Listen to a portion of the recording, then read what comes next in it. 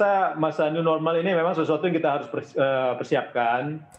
Jadi memang saat ini kita sudah membuat satu apa namanya uh, protokol bagaimana kita perlu berinteraksi dengan para debitur dan juga nasabah kami, bagaimana kita berinteraksi dengan pihak ketiga lainnya, dan juga bagaimana pengaturan bekerja secara internal kita uh, dan insya Allah nanti apa pengaturan mengenai hal ini kita sudah siap. Bahkan mungkin kalau ini dibutuhkan untuk bisa dilaksanakan minggu depan pun kita siap.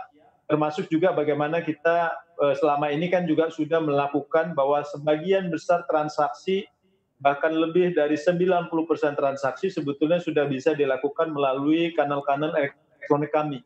Nah, kami juga di Bank BTN dari sisi aplikasi kredit pun saat ini melalui portal btnproperty.co.id itu juga kita bisa lakukan. Bahkan saat ini ada lebih dari 2000 proyek eh, KPR atau proyek perumahan eh, dengan 600 developers itu sudah bisa kita lihat melalui btnproperty.co.id ini merupakan salah satu bentuk dari kesiapan kita bahwa kalau hmm. misalnya debitur ataupun calon debitur memerlukan untuk bisa melihat uh, perumahan yang memang diinginkan itu seperti apa kita bahkan ada foto yang misalnya bisa dilihat dengan menggunakan Baik.